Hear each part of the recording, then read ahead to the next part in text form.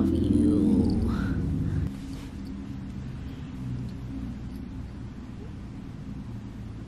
Why? High five.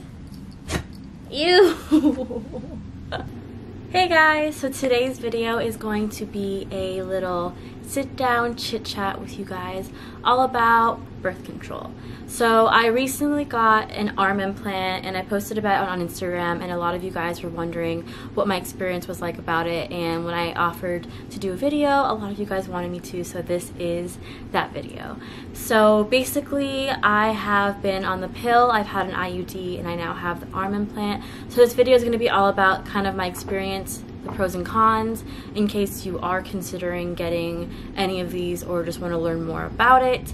Um, I do want to make a disclaimer. So this is going to be talking about medical procedures and different um, obviously medication and all that stuff. So I really, really do advise you if you have any questions to ask your healthcare provider or doctor.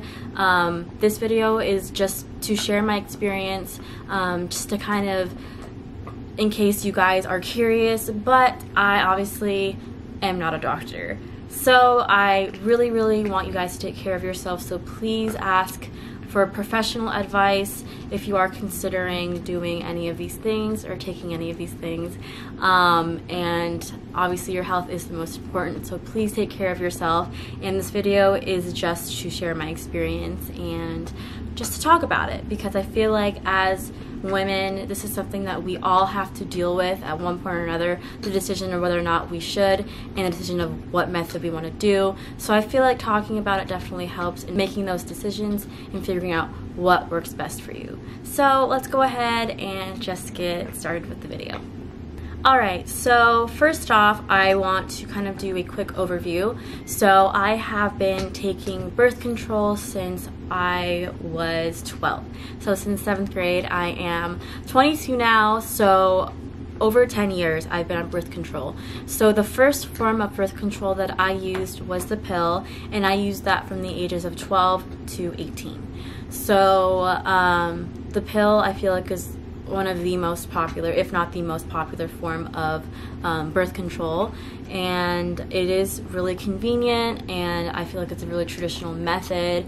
And the reason why I took it was because when I was starting my period, I would have my period for literally four weeks straight, five weeks straight, have a couple days off, not even a week, and then the cycle would continue. So I was constantly on my period, and not just like little periods, like heavy, heavy bleeding. And it became, um, it came to the point where I was actually anemic, and it was a health hazard, a health issue that was caused by these really long periods. So I went to the doctor to try to figure out what was wrong with me and how I could deal with it. And basically, they said that we should definitely try to get you on the pill to try to regulate your period. So, as a seventh grader, that was kind of like, why? Like, I'm not having sex. Why should I go on the pill? Obviously, it's really good if you are sexually active to be on these things but there are other purposes um, for birth control and in that in my case it was it was to regulate my period because it was a health concern of how much blood I was losing. So I want to go ahead and talk about the pros and cons of being on the pill. I have my little notes here. Whoa. my notes here so in case if you see me glancing down that's what I'm doing. So the pros of taking the pill were the pill actually got rid of my period, which was life changing. I'm so glad that I did get on the pill because it was becoming to the point where it was constantly like I was always worried about leaking. I was always worried in class. Like we had tests we would take. If they were more than an hour long, I would bleed through my pants. Like it was inevitable and it was just horrible and embarrassing. And it was so stressful. So to be able to go on the pill and fix that was really, really nice. So if you actually look at a birth control packet, the last week is sugar pills, the placebo pills. So basically, if you skip those and take the actual birth control pill during that week instead of taking the sugar pills, you actually can get rid of your period. Um, for me, I did that and it worked. Uh, so I ended up not really having a period throughout high school, which was so, so nice. Um, I know that may not be the case for everyone, but for me, I've always had really, really weird periods. And since then, I have not had a regular period in my life. My most regular period was having the five weeks of bleeding a week off. And then since I've been on the pill and on birth control um, for the past 10 years, I have never had a regular period. So it may differ from person to person, but in my own, in my own experience, it got rid of my period, which is really nice. And I know that for a lot of people, birth control actually actually helps with acne. And I know that certain birth controls are better at that than others. And because I was on a birth control for regulating my period, I wasn't worried about um, having it help my skin. So it didn't worsen my skin, but it didn't make it better. So I would say a pro was that it didn't make my skin worse and I didn't have like mood swings or weight gain related to the pill. So that was a pro for me. Um, obviously, person to person differs, but that's my own experience. So now I'm going to talk about the cons of being on the pill. So the number one thing for me was effectiveness. So the pill is 99% effective if you take it perfectly. That means you take it every day at the same exact time. You never ever miss the pill. And I just have to say, I am horrible at taking medicine. I am horrible at remembering to do things in general. So, especially as a middle schooler, um, taking the pill every day at the same time, I just wasn't doing it. I was missing days. I was taking two or three pills at a time to make up for the days I didn't take it. And just overall, I don't even want to know how ineffective the pill was for me because I did that. But I wasn't taking it for contraceptive. I wasn't sexually active. So I didn't risk it because I was doing it for my periods. I probably messed up my period a little bit, but I wasn't taking it to not have a baby. But for people that are having sex and are on the pill, the effectiveness is a little scary because unless you're taking it perfectly, um, that effectiveness goes down each time you miss the pill or even not take it on the same at the, around the same time you take it every day. So I actually looked up statistics on Planned Parenthood just to kind of give you guys some facts behind everything I'm saying. And they say that on average, the, the pill is actually 90% effective. So, one out of 10 people on the pill get pregnant while being on the pill because of that reason, because of how missing a single dose can affect and lower how um, effective the pill is. So I actually didn't know this, and I read this online on Planned Parenthood.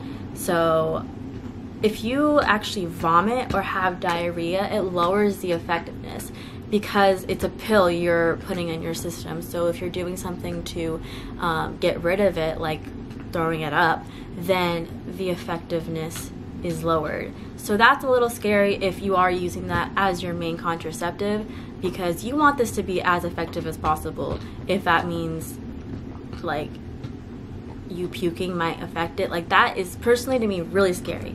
So obviously effectiveness is a huge thing. That's something that you want the best of when you're considering a birth control and I just don't think the pill was for me. Also another con is that it's a daily thing. You have to take the pill every single day of your life. You have to constantly remember, put alarms on your phone and um, you know, make sure you take it every single day. It's not something you can just take once and forget about it. Like it's a daily thing. All right, moving on to the IUD implant. So um, I got the IUD when I was 18, so I was about to graduate high school. And um, the reason I got it was actually because my mom worked at a clinic and she saw so many girls come in and they were pregnant.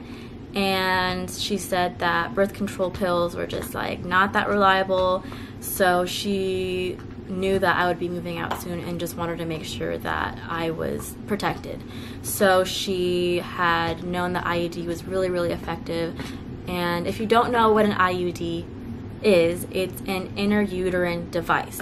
So basically, it's a plastic T shaped device that is inserted into your uterus. And it basically releases a hormone called progestin, I believe it's called, um, which prevents pregnancy. And it's actually an over 99% effective.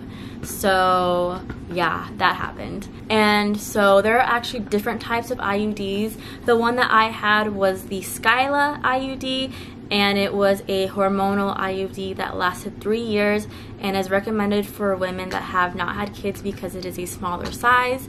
There are other IUDs that last longer, that can last up to 12 years, and there is one that is copper, so it's not hormonal. I didn't have that, so I can't really talk about that, but those are the different um, types of IUDs if you are interested. So, yeah. I'm gonna go ahead and start talking about the pros of the IUD. One of the main pros of the IUD was that it was something that I had to get once and I would never have to think about it again for three years.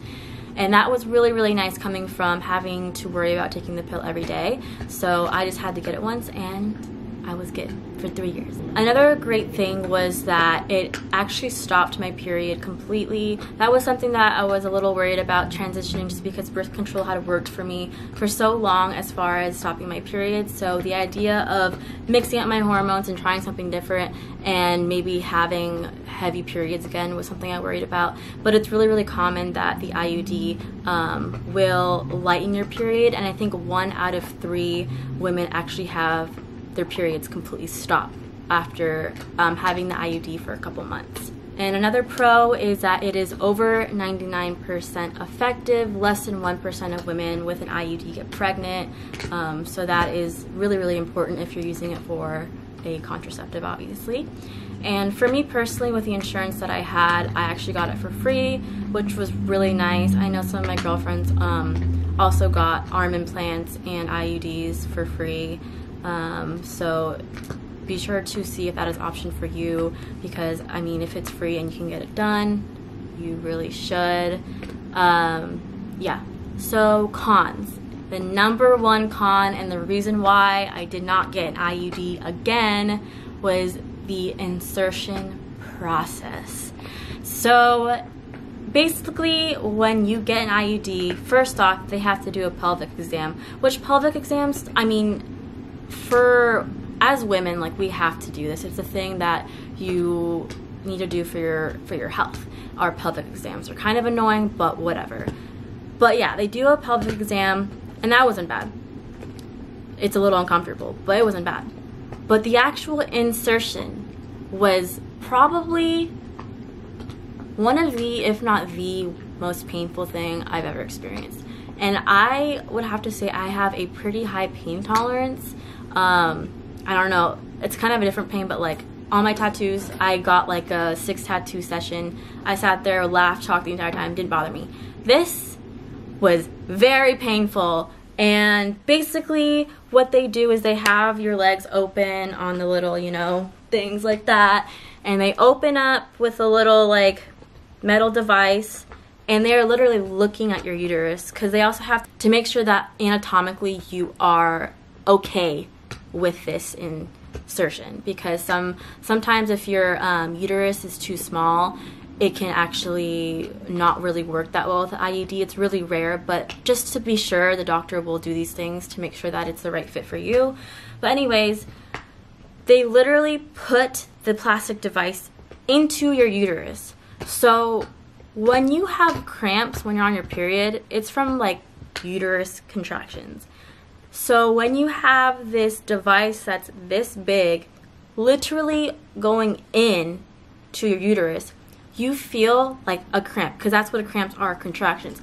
But it's like the worst cramp ever because in a single moment you just feel your uterus open. And it'll last after a while and it would come in waves like it was throbbing. And it just was the most uncomfortable feeling ever. And I am so glad that I had um, my boyfriend at the time driving for me because I really didn't know how bad it would be. They also recommend that you take some Tylenol or ibuprofen or something beforehand to help with the pain. I didn't do that though because I didn't know. But I, in the car, like, I was just crying. I was so uncomfortable. And I know that for different people, you know, it's different. But like, I have to say, it was one of the worst pains ever. It was just horrible And like the worst of it was when it was actually like, being inserted and then like after that like the next 20 minutes. But for the next I would say it lasted for about 2 hours just coming in waves of like finally feeling like maybe I'd be okay and then it would just come back with this really intense feeling of a bad internal cramp. So that really sucked, and that's kind of the ultimate reason why I didn't get the IUD again. Um, another con is that this is a more personal thing. So I was like super paranoid that I would like lose my IUD in me. It's a little like it didn't make any sense. Like that just doesn't happen. But because I couldn't feel it after it was inserted, like the pain, like I was mentioning, it goes away after like a day. Um, but you don't feel it in you, and you can't obviously you can't see it. So I had this like kind of like illogical paranoia that it was gonna fall out or it was gonna like go deeper inside and just be lost. But there is a string connected to it, so if you really wanted to, like you could go in and have it checked to see if it's still there, or like in some cases people can check themselves. I never did that, but um, that didn't happen. But that was just like a personal thing because I couldn't see it. It kind of freaked me out that like it wasn't there. Um, but yeah, those are basically all the cons for the IUD. Yeah, and it was a little awkward getting it taken out because I actually had a guy doctor and I wasn't planning on getting it out that day. And he was like, okay, well, since we're doing your, because I took it out the same time I got this in, or like a day apart. And he was like, since I'm going to be inserting this thing, like I have to take out your IUD. I was like, oh my gosh, like I'm gonna have all that pain all over again, and I was so scared. And it was a guy doctor, which like I personally prefer female doctors just because like my vagina's out. And it was really weird. Little story time. Um, so like as I had my legs open, he literally said this. He was like, "Wow, are you a dancer?" As like my whole coochie is out and exposed, and I was like, um I mean, no, like I used to dance like years ago, but not like for a long time. And he was like, oh, like, were you a ballerina? Still, as I was like just chilling there with, you know, the whole pelvic thing and like him about to take out my IUD. And I was like, no, I wasn't. He was like, oh, you're so flexible. Uh, and I was just like, please get this over with. All right, so I'm going to jump on this idea real quick. I just told you guys my experience kind of with the doctor who had um, taken out my IUD. And I kind of say the story looking back. I was just watching it and I'm kind of laughing about it. But honestly, I think it was a really inappropriate situation. I feel like the doctor should have um, been more professional and made me feel very uncomfortable. And to this day, I, you know, still feel really um, uncomfortable about it. And I don't think that you should ever feel that way when you are in the hands of a healthcare professional. They are there to make sure that you are healthy, you are safe, and um, I, you know, the more people I kind of talk to about the situation, they're like, Vivian, that that was weird. Um, and I'm gonna be honest, I didn't report him. It's been quite a while now, and it's kind of hard for me to wrap my head around you know, what would happen if I did that, you know, thinking about his family, maybe his intentions were not that way. I, you know, was just overthinking it. And I guess I just want to admit that and be open about that because I feel like that's honestly how a lot of times, like, girls think. And that's a lot of times why people get away with stuff like that. But, I mean, I just wanted to speak my truth about that and not kind of just leave it as it was because that's not how I really feel about it. But, anyways, moving on to the rest of the video process of taking it out wasn't nearly as bad as putting it in though like it was like that pain i had felt like in waves that lasted for over an hour but only in the moment it came out like once it came out it was done so maybe the pain lasted for 10 seconds at the most and then i never felt that pain again so thankfully because i was so worried about that so since I had to get my IUD taken out, I decided to get the arm implant. So I'm gonna go ahead and talk about that now, and it is the Nexplanon is what its like formal name is. So if you don't know what Nexplanon or the arm implant is, is it's a rod that they put in your arm and it's like a rod that's about an inch and a half um, long almost looks like a little matchstick the shape of it and um, It is also over 99% effective and it lasts three years as well. So it's basically what I thought would be the IUD without the insertion. But I had a little bit different of an experience um, so far. I've been on this arm implant for almost three months now, so I got it back in January and now it's March. So, um, yeah, let's go ahead and talk about the pros and cons of the arm implant. So, the pro for this was coming from an IUD, I really was elated when the insertion of this was so painless. I was a little worried because it is something where they have to still take you into a procedure room um, and I had my arm out like this and they basically they gave me a shot to numb my arm which the shot wasn't bad at all and then from that moment forward I couldn't feel anything so if he poked me with like a like a wood dowel even. I wouldn't really feel like a sharp pain. It would just be a little pressure like someone was tapping me. And so i didn't look at what was happening because i am like kind of weird about that. Like i'd rather just not see what's happening. If i can't feel it and i can't see it then it's like it's not happening is how my mind works. So anyways the actual procedure itself was um, they numbed it and then they took a um, little marker and kind of marked where they were going to put it and then they used the needle which had the rod uh, device and they inserted it. And you can actually kind of see that is where it is. That's my little scar from the insertion. And if you run your fingers along it you can kind of see that line. You can feel the device in your arm. Painless insertion huge pro. Um, also I get it once and I can just forget about for three years once again.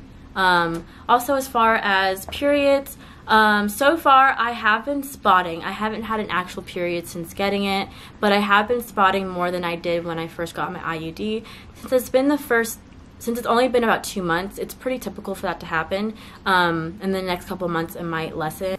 And then I'd say a pro is that uh, so far there has been no effect in my skin or weight. It hasn't broken me out. I haven't gained a ton of weight. So I think that's huge when it comes to things like this, putting in your body and way your body reacts, is um, that it doesn't do that type of stuff. So that is a pro.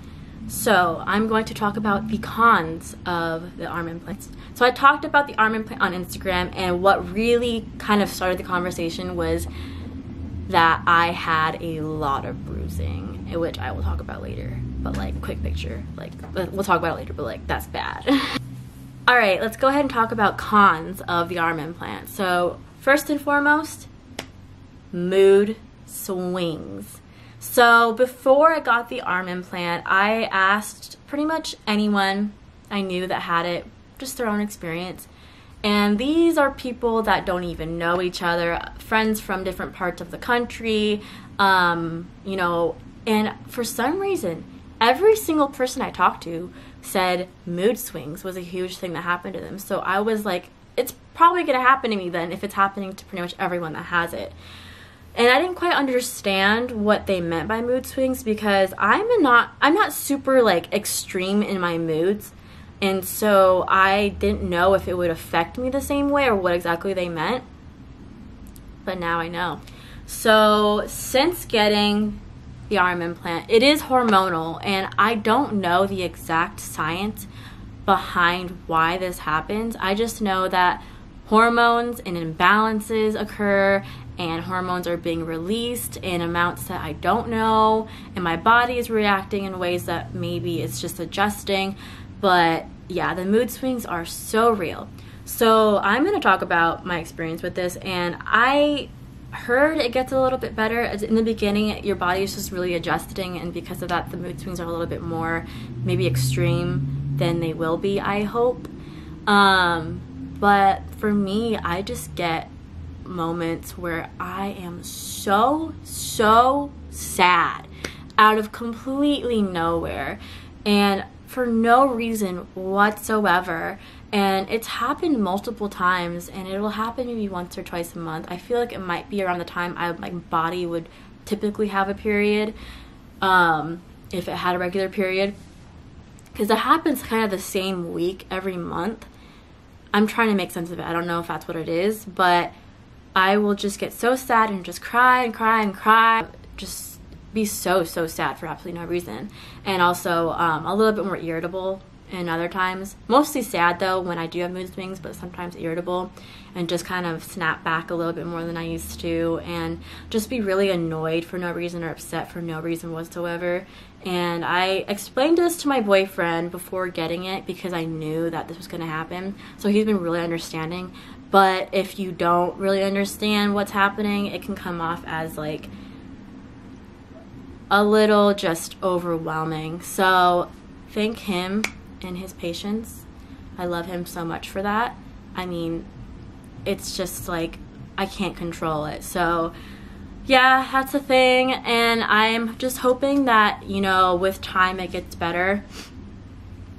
And it's just so frustrating in the moment because I'm talking about it now, but like when it's happening and you're like super sad for no reason, it's just like, stop crying. Like, why are you crying? Stop crying. And then you just cry more. And it's so frustrating because, like, I, especially in a public and another con, like I mentioned before, was the bruising. This lasted uh, for about four weeks, almost a month, like three to four weeks after I had the um, implant inserted. So I bruise easily, like in general. Like I am like a freaking plum. Is that like a peach? Uh, whatever fruit gets bruised easily. And I know that for some people they didn't have this happen to them, but if you bruise easily, you're probably going to end up bruising a lot from this. So, yeah, here are some pictures. It looked like I got beat. Like I've never had a bruise that dark and that big. And um, yeah, I mean, like I mentioned before, like I don't have a really bad period, but it is definitely still a con that I am spotting a lot um, more than I did with the IUD at least, and more than I have like in the past. And um, it's been really like irregular spotting. Hey guys, so I'm gonna hop on real quick. Literally just pulled up photo booth on my computer, but it's been about three months since I filmed my last clip of this video, and I wanted to do another update, like I said, kind of long term, uh, because these these implants have side effects, and I didn't want to, you know, say within the first two months what it was going to be because I didn't know what was going to happen after.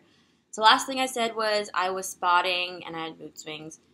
Three months later, from that point, I've been currently I have been with the Nexplanon for six months now, and I want to get it out. I haven't done it, but the spotting has not stopped. I literally spot like every day, which on the IUD I did not have a problem with. But with my prior history overall, I used to have periods every day. So I feel like it's kind of like that again, but it's just not as heavy. But that's an issue I don't want and I solve with IUD. So that's one thing. Another thing is um, mood swings are still happening. That's not something that went away. And as I talk to more and more people, more and more people encourage me to get it taken out because they wish they had, they endured you know, the entire duration, but never got better. And they wish that they had taken it out sooner or that they had would have taken it out, you know, at all. Um, so I'm not to say that it's going to be, you know, how it is for everyone. As with anything, everyone has a different experience. But um, that is kind of where I'm at right now. But I just really wanted it to um, reflect my experience. So. Thank you so much for watching. It sucks to be a girl sometimes, but you know how it is. Um, it's nice to be informed of decisions that we make. And with the climate, everything going on, especially, um, I mean, we know our bodies more than anyone else does, and we should have the power to make that decision and an informed decision. And that's why I'm very open about talking about this stuff because it is something that we have to deal with and we should not be ashamed of. And um, yeah, I mean, I could go on and on about that, but I had to include that. And I hope that this video was helpful. And let me know what other videos you want to see me do. I love doing these types of videos because um, I feel like as women, we should, you know, help each other out when it comes to these things. So, yeah. Anyways, love you guys so much. Thanks for watching. Hope you're having a wonderful day.